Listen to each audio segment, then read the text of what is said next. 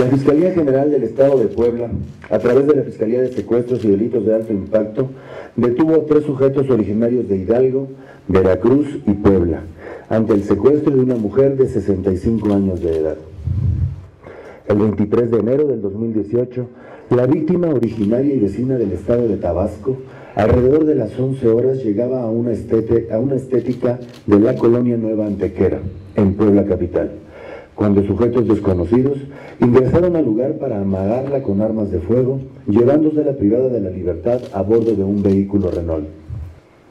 Personal táctico de la Fiscalía de Secuestros y Delitos de Alto Impacto implementó un operativo en un motel utilizado como casa de seguridad, ubicado en el, en el kilómetro 4 más 150 de la carretera federal a Mozoc Oriental, donde fue rescatada la víctima de forma ilesa.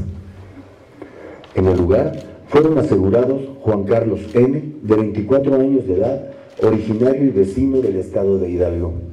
Graciela N., de 35 años de edad, originaria y vecina del estado de Veracruz. Diego Adrián N., de 38 años de edad, originario y vecino del estado de Puebla.